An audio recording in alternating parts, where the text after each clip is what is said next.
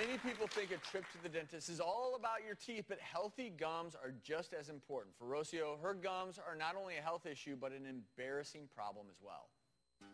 When people think of me, probably the first thing that comes to their mind is my smile and my laughter. Underneath my smile, there are a lot of insecurities. Learn to smile just showing half of my teeth. That's what I hide. I noticed my gums were receding about five years ago. I have straight teeth, but my gums are really bad. I have asked the dentist, do I have gum disease? And he said, no, it's from overbrushing and brushing too hard, and I cause a lot of damage to my teeth. It does bother me a lot.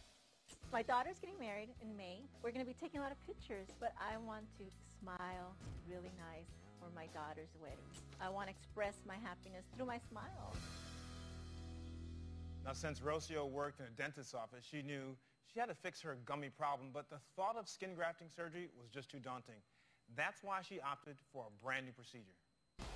Hello, Rocio. Hi, Dr. Chao. How are you today? Fine. How are you today? I'm doing well. Good, good. By tomorrow, the gums will be right That's about amazing. here. A pinhole gum rejuvenation is the first minimally invasive technique to restore receding gums without the gum grafting. With this procedure, we can move gums to its normal position without cutting or stitching, all through a tiny little pinhole. We're about to start the procedure with a pinhole right at this point on number six. And this is the instrument that I use to go through the pinhole.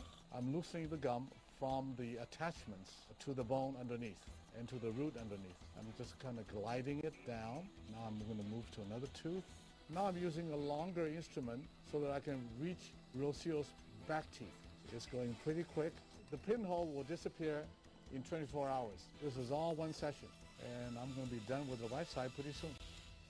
Now I'm going to put another pinhole right over the upper left cuspid. And we have about three more teeth to go. Now I'm moving towards the last two teeth. So far, I've used only two pinholes. Now we're ready to put the collagen strips in between the teeth and then we'll be done. The collagen strips will keep the gums from going back up. Now the gums are right where it belongs. We did it in 57 minutes. We did 10 teeth. Okay, really nice. There'll be a total change. Ready? Yeah. Oh my God. That's way different. I'm sorry. I'm so happy.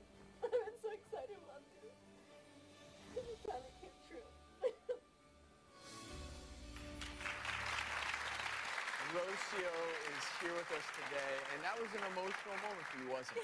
it is. It's amazing. I can't believe it. you show that smile off. Just smile at that camera because this is a transformation that goes beyond just a healthy mouth. This is Yeah. emotionally a big deal for you. Wow. You know, you know what's amazing is that, you know, we're taught to brush our teeth twice a, twice a day, right? And, but we're never taught about, like, how hard or soft to brush your teeth. And, um, you know, gum recession is a serious thing, and people get, get confused because you want to prevent cavities, and yet you can't overbrush them because then you can cause gum recession. Rocio's doctor, Dr. John Chao, is joining us now on the phone. And Dr. Chao, this is something that you came up with, and it, it seems too good to be true in a way because you're essentially pulling down the gums, and within an hour or so, you have treated the receding gum line. Walk us through exactly what you were doing during the procedure. I went from the, the, the top of the tooth, the area where the tissue is very soft, very, very, pliable, and it's full of collagen. So I went through there with, uh, with, with a pinhole, and then I basically disengaged the tissue from the underlying bone, and then I was able then to, to basically drape uh, the, the uh, gums down to where I wanted to go.